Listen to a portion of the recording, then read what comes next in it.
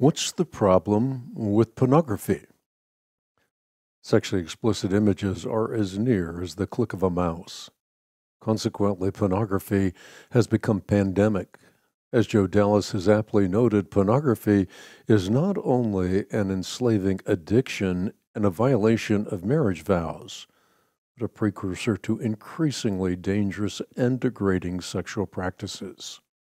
First, pornography is an addictive behavior that enslaves the mind and conditions users to view others as mere objects of self gratification.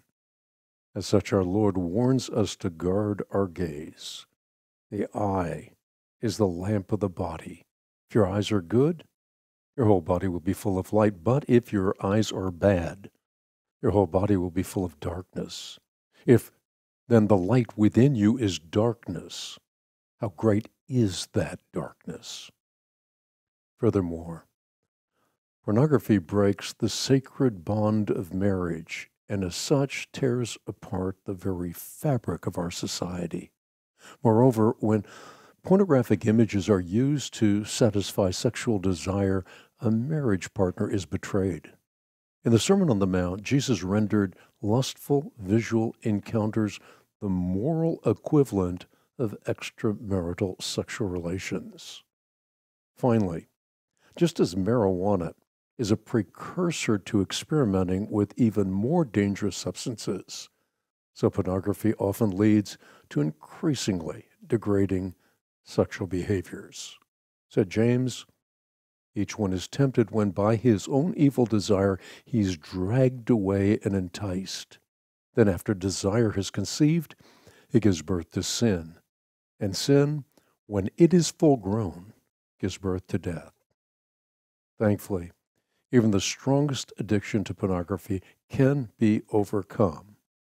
Overcome by, by taking practical steps to remove the temptation, by establishing an accountability structure, and by putting on the full armor of God.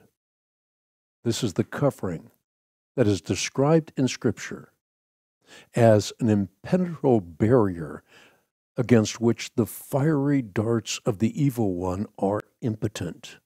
When we're clothed in the covering, we are invincible. But when we are not, we are but pawns in the devil's malevolent schemes.